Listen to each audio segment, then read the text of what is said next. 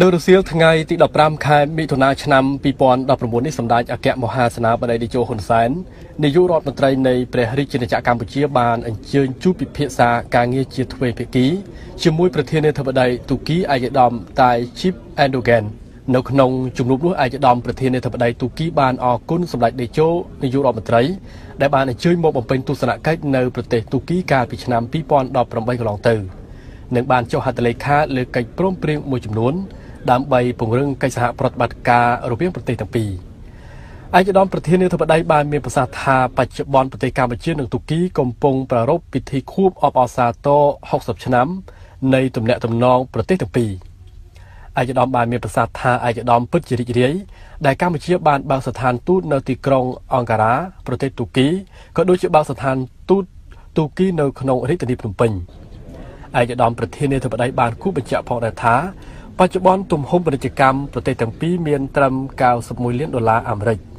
ប៉ុន្តែស្ថិតនៅក្នុងកម្រិតទាបនៅឡើយឯកឧត្តមប្រធានាធិបតីក៏បានស្នើជំរុញឲ្យការធ្វើពាណិជ្ជកម្មរវាងប្រទេសទាំងពីរឡើងដល់500លានឬ1000លានដុល្លារអាមេរិកក្នុងមួយឆ្នាំឯកឧត្តមប្រធានាធិបតីទូគីក៏បានថ្លែងបញ្ជាក់ទីថាគួរតែជំរុញឲ្យមានការវិនិយោគនិងពាណិជ្ជករទូគីនៅកម្ពុជាអាចរកស៊ីជាមួយគ្នាកាន់តែច្រើនបន្ថែមទៀត។ ឯកឧត្តមប្រធានាធិបតីបានថ្លែងថាបច្ចុប្បន្នទូគីកំពុងឲ្យតម្លៃខ្ពស់ចំពោះកិច្ចសហប្រតិបត្តិការជាមួយអាស៊ានហើយប្រទេសទូគីគឺជាប្រទេសដៃគូសន្តិនិកតាមវិស័យជាមួយអាស៊ានផងដែរឯកឧត្តមបន្ថែមថាកន្លងមកប្រទេសទូគីបានចូលរួមក្នុងការបោសសម្អាតមីននៅក្នុងប្រទេសជាសមាជិកអាស៊ានតាមរយៈមជ្ឈមណ្ឌលសកម្មភាពកម្ចាត់មីនអាស៊ានហើយទូគីមានឆន្ទៈក្នុងការពង្រឹងកិច្ចសហប្រតិបត្តិការជាមួយប្រទេសដែលជាសមាជិកអាស៊ានទាំងអស់ ទូគីចង់ប្រែក្លាយពីប្រទេសដៃគូតាមវិស័យទៅជាប្រទេសដៃគូសន្តិនិកជាមួយអាស៊ានផងដែរប្រធានាធិបតីទូគីក៏ចង់ឲ្យមានកិច្ចសហប្រតិបត្តិការកាន់តែខ្លាំងក្លាបន្ថែមទៀតក្នុងការប្រយុទ្ធប្រឆាំងទៅនឹងអំពើភេរវកម្មផងដែរជាការឆ្លើយតបសម្ដេចតេជោហ៊ុនសែនបានថ្លែងអំណរគុណចំពោះទស្សនវិស័យទាំងឡាយដែលឯកឧត្តមប្រធានាធិបតីទូគីបានលើកឡើងសម្ដេចតេជោក៏បានគូបញ្ជាក់ថាបច្ចុប្បន្នកម្ពុជាកំពុងរៀបចំស្ថានទូតនៅទីក្រុងអង្ការ៉ាប្រទេសទូគី ពាក់ព័ន្ធទៅនឹងការប្រារព្ធខួបអបអសាទរ60ឆ្នាំនៃទំនាក់ទំនងកម្ពុជានិងទូគីនោះសម្ដេចតេជោហ៊ុនសែនបានបញ្ជាក់ថាកម្ពុជាចង់អញ្ជើញរដ្ឋមន្ត្រីការបរទេសទូគីមកបំពេញទស្សនកិច្ចនៅកម្ពុជា ដើម្បីពិនិត្យអំពីវឌ្ឍនភាពនិងសមិទ្ធផលការងារដែលបានធ្វើកន្លងមកសម្ដេចតេជោក៏បានបង្ហាញអំពីក្តីរំពឹងថាឯកឧត្តមប្រធានាធិបតីទូគីនឹងអញ្ជើញបំពេញទស្សនកិច្ចនៅប្រទេសកម្ពុជានាពេលខាងមុខ។ សម្ដេចតេជោប្រមុខរាជរដ្ឋាភិបាលកម្ពុជាបានមានប្រសាសន៍ថាសម្ដេចស្វាគមន៍ចំពោះការតែងតាំងសហប្រធាននៃគណៈកម្មការចម្រុះនៃប្រទេសទាំងពីរនៅពេលខាងមុខនេះដែលនឹងមានការប្រជុំឆមាសទី4ផងដែរពាក់ព័ន្ធទៅនឹងបញ្ហាពាណិជ្ជកម្មរវាងប្រទេសទាំងពីរវិញសម្ដេចតេជោនាយករដ្ឋមន្ត្រីចង់ឃើញការជំរុញទំហំពាណិជ្ជកម្មនេះឲ្យឡើងដល់1000លានដុល្លារសហរដ្ឋអាមេរិកហើយដើម្បីជំរុញការងារនេះសម្ដេចតេជោបានលើកឡើងជាគំនិតថា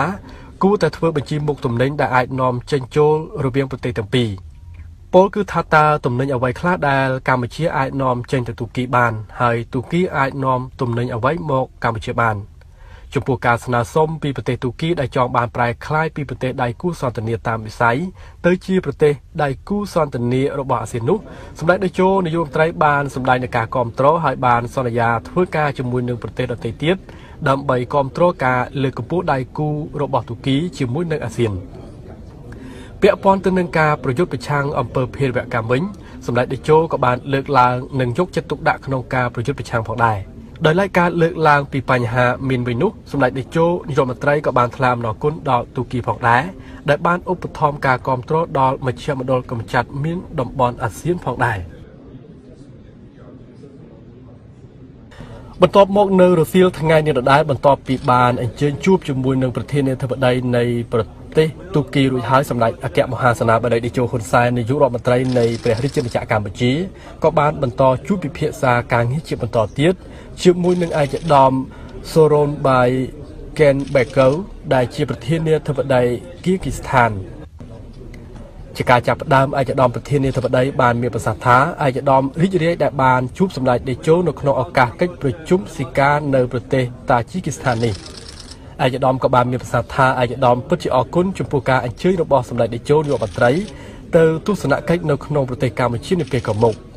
សម្ដេចតេជោបានមានប្រសាសន៍ថាពិតជារីករាយដែលបានជួបអាយដាមបើទោះបីជាមានភាពមមាញឹកគឺយើងបានមានឱកាសជួបគ្នានៅទីនេះ សម្ដេចតេជោបានគូបញ្ជាក់ផងដែរថាប្រទេសយើងទាំងពីរគឺសប្បាយចិត្តនៅក្នុងក្របខ័ណ្ឌស៊ីកានេះសម្ដេចតេជោបានមានប្រសាសន៍ថាឥឡូវនេះទំនាក់ទំនងទ្វេភាគីរវាងប្រទេសយើងទាំងពីរគឺមានរយៈពេល24ឆ្នាំហើយក្រោយពីការចុះកិច្ចព្រមព្រៀងការទូតនៅឆ្នាំ1995ដោយសម្ដេចបានមានប្រសាសន៍ថារហូតមកដល់ពេលនេះទំនាក់ទំនងរវាងប្រទេសយើងទាំងពីរនៅមានកម្រិតទុចទុចនៅឡើយ ដូច្នេះហើយសម្ដេចសូមឲ្យមានការតែងតាំងឯកអគ្គរដ្ឋទូតទៅវិញទៅមកប្រចាំប្រទេសទាំងពីរដើម្បីធ្វើយ៉ាងណាជំរុញឲ្យប្រទេសទាំងពីរបន្តនៅទំនាក់ទំនងទ្វេភាគីនិងអនាគតអាចមានស្ថានទូតនៅប្រទេសរៀងៗខ្លួនសម្ដេចតេជោបានមានប្រសាសន៍ពាក់ព័ន្ធទៅនឹងការធ្វើយ៉ាងណាឲ្យប្រទេសទាំងពីរមានទំនាក់ទំនងនៅកិច្ចសហប្រតិបត្តិការកាន់តែល្អជាងមុនដែលទី1សម្ដេចស្នើគួរតែមានការចុះអនុសារណៈដើម្បីពិគ្រោះយោបល់លើផ្នែកនយោបាយ ហើយនឹងអាចចុះអនុសារណៈរវាងក្រសួងការបរទេសនៃប្រទេសទាំងពីរដើម្បីពិភាក្សាគ្នាលើទំនាក់ទំនងអន្តរជាតិជាមួយនឹងសម្ព័ន្ធភាពអឺរ៉ុបដែលកម្ពុជាអាចនឹងនាំចេញក្រណាត់និងសម្លៀកបំពាក់មកទីនេះផងដែរសម្រាប់តេជោក្នុងនាមព្រះមហាក្សត្រក៏បានគោរពអញ្ជើញឯកឧត្តមប្រធានាធិបតីគីគីស្ថានមកបំពេញទស្សនកិច្ចនៅកម្ពុជាផងដែរសម្រាប់តេជោនាយករដ្ឋមន្ត្រីក៏បានបង្ហាញនៅបំណងចង់អញ្ជើញទៅចូលរួម បំពេញទស្សនកិច្ចនៅប្រទេសគីគីស្ថានផងដែរឯកឧត្តមប្រធានាធិបតីក៏បានឆ្លើយតបថាឯកឧត្តមមានការចាប់អារម្មណ៍យ៉ាងខ្លាំងចំពោះអ្វីដែលសម្ដេចតេជោបានលើកឡើងហើយជាគោលបំណងដ៏ល្អសម្រាប់ទំនាក់ទំនងរវាងប្រទេសទាំងពីរឯកឧត្តមប្រធានាធិបតីក៏បានមានប្រសាសន៍ទៀតថាបច្ចុប្បន្នគីគីស្ថាន គឺមានឯកអគ្គរដ្ឋទូតនៅប្រទេសម៉ាឡេស៊ីហើយជួយជំរុញដល់ការពង្រឹងទំនាក់ទំនងជាមួយកម្ពុជាផងដែរ